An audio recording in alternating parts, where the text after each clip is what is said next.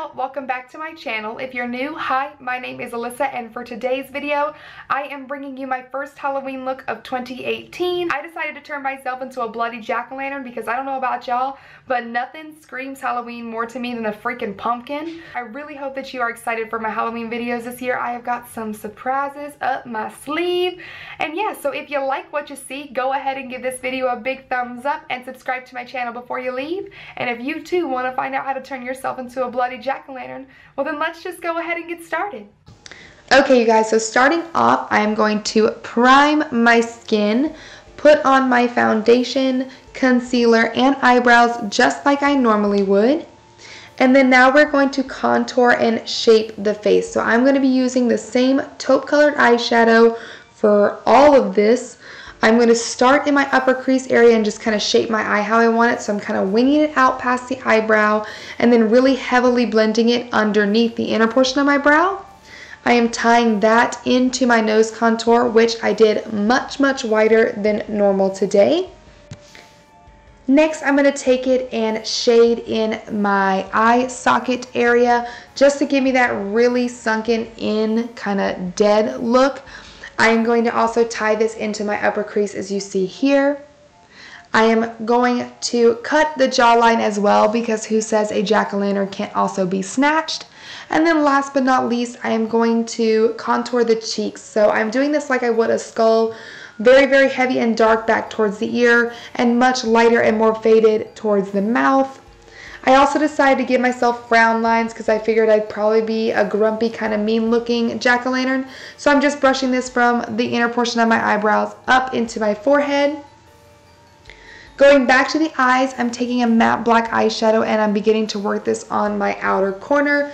I will start to kind of wing this out as I disperse some of the product. As you can see here, Take your time with this, guys. You don't have to worry about it being really neat because I am making my look rather messy. Um, so don't stress, just blend and it'll all work out. As you see here, I'm bringing that black all the way into the inner corner as well, just to give me that really dark, heavy eye look, as if my eyes have been carved out. You guys know what I'm saying. Going in with a matte orange eyeshadow on the lid because obviously we are a pumpkin, duh. I'm just stamping this all over with my finger. Just, again, no rhyme or reason. Plop it on there. I am filling in my waterline and I tight lined as well with a black eyeliner. Um, I'm making the cutest faces, Lord have mercy, you have literally ever seen. And then I'm really smudging it below my lashes as well. I am taking the same black eyeshadow and I'm really smoking it out, you guys. You don't want to see any of your skin peeking through here. We want this lower lash line to be really, really dark and really, really smoked out from inner to outer corner. So just really make sure you focus on building that black color up down there. I am going back in with that orange eyeshadow and just blending out the edges so one, it's not super, super harsh, and two, to tie in the lower lash line with what we've got going on the lid. Next, I'm going to draw on an obnoxiously large wing. You don't have to do a wing if you don't want to, or you can do a baby wing. It's all up to you, but I decided to do a pretty big one today. Now it's time to start painting the face. So I'm going to be taking my flash palette and mixing the red and yellow together because they make orange. Hello, science. And I'm starting to do like feather-like strokes above my eyebrows. So it's tying into like my frown lines, if you will. Don't actually ask me why I chose to do this. I really have no reason for it, but I like the way it turned out. So it all worked out in the end.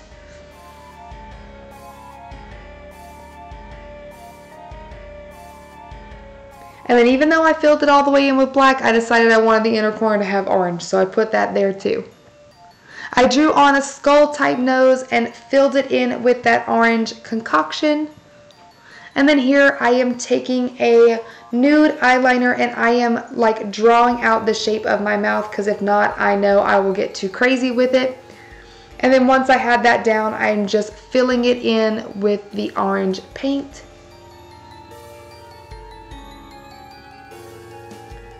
Now I am doing little squiggles all the way around the mouth. And this is where you're gonna see where the look is really just very, very messy. There is no rhyme or reason to these. Some are very long, some are very short, some are thicker than others. I really just kind of let the brush do whatever it wanted to. And trust me, you guys, you cannot make this look bad. Just do as much or as little as you want to, but this is going to give it that like creepy, kind of like cracked and smiled like look, I suppose is what I was going for. Now I'm taking my eyeliner and I am just filling in the carved portion of my mouth. So I am following like the bottom part of my lower lip. And then for my upper lip, I'm just kind of cutting off the tops of my cupid's bow.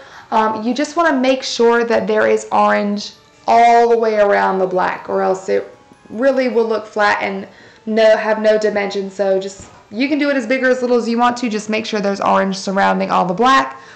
And then obviously fill that in when you get it how you want it.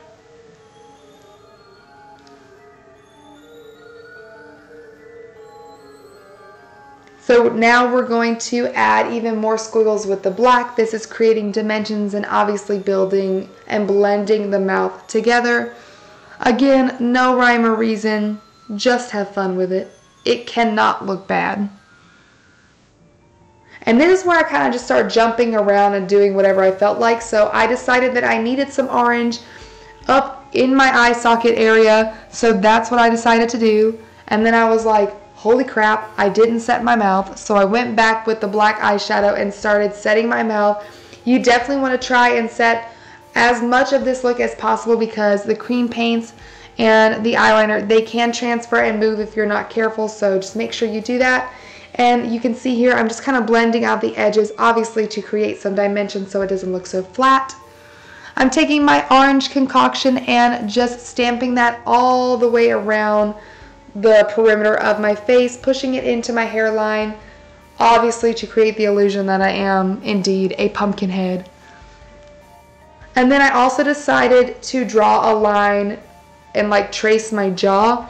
Again, don't really know why, but I did it and I liked it, so that's all that matters. I am setting that with a mixture of the same matte orange eyeshadow and a little bit of a matte red mixed in there as well, just to kind of give it a little bit more depth um, and like go with like the blood look we'll have later. I decided to add glitter because hello you guys know this is me here. This is the Urban Decay glitter liner in Starfire and I really liked what it did for the eye look. I was going to use the same orange concoction I'd used all over my face, but then I saw this liquid lipstick sitting here and decided that would probably be smarter. So I took a spoolie and ran it through my eyebrows as well as on my lower lashes. I get that you really can't tell that I did this, but I know that it's there and I liked it, so I did that. I am now taking a red liquid lipstick and I'm just kind of splattering this with the spoolie all over the face. Again, no rhyme or reason to it. This is just going to create some dimension when I put down like the blood paste later. So that's why I decided to do this and not just the blood paste. And then randomly I decided that I wanted to give myself a little tiny black nose inside my orange nose. So that's what I did. And here I'm going in with my blood paste and a stippling sponge and I'm just going to plop this wherever the motion takes me. So you can do as much or as little as you like.